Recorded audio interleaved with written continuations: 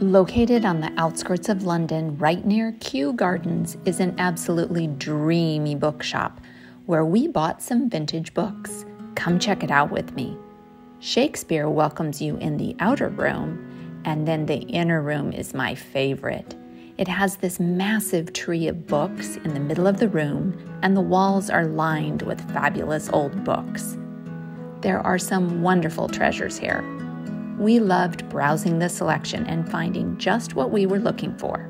It's great fun, so I highly recommend you stop by and have the owner Helen find just the right books for you.